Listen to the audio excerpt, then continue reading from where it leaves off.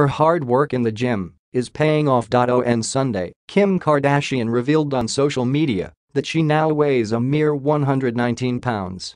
While attending a poker tournament benefiting City of Hope, a non-profit cancer treatment and research center, the 37-year-old reality star was praised for her skinny figure by sisters Kendall Jenner and Khloe Kardashian.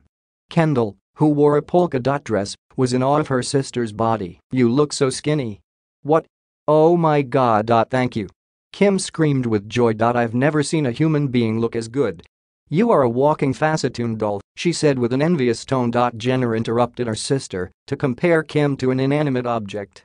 My purse is as tiny as you, she said holding up a miniature handbag. The Good American founder continued by calling Kim the skinniest person she's ever seen.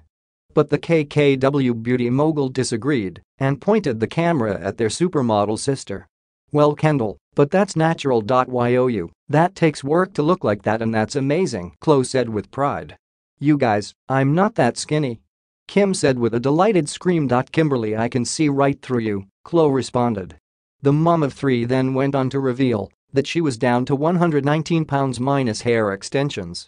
Your hair extensions, your your TTS, they're heavy cause she's effing voluptuous, Khloe said while pointing out her sister's many assets. But she's anorexic here points to waist, and her arms are like pin thinned, they're like my pinky, it's bizarre.